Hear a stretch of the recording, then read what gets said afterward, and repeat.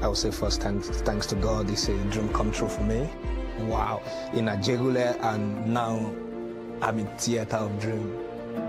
So it's it's a great moment for me and I'm enjoying every bit of it.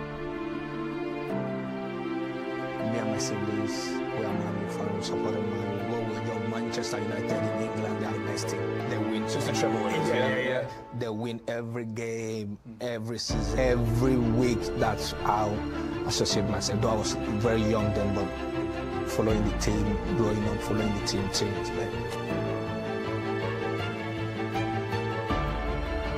Odion has done really well when he's come in and he's uh, enjoying himself and we're just gonna he, and he will be, improve and get better and uh, but he has qualities that we uh, we saw in him that we needed and uh, we'll still need those qualities for next season so let's see what we do.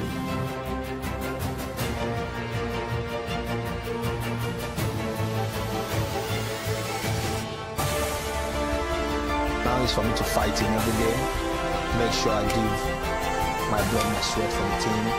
I just want to keep working day by day, games to game, improving, working with these great lads in this team, this great coach.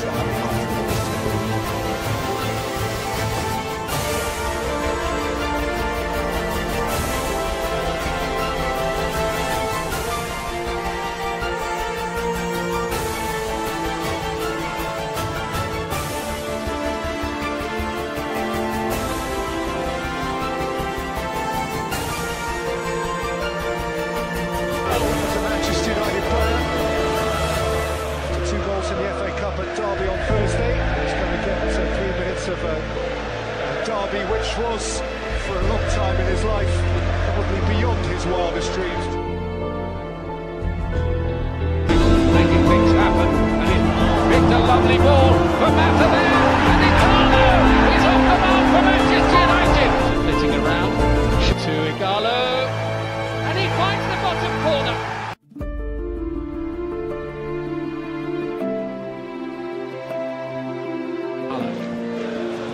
This is Mata once more.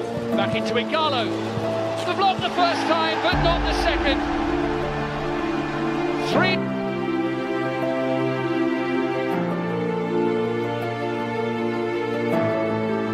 Ighalo sets himself and scores magnificently. Brilliantly done by Odion Ighalo.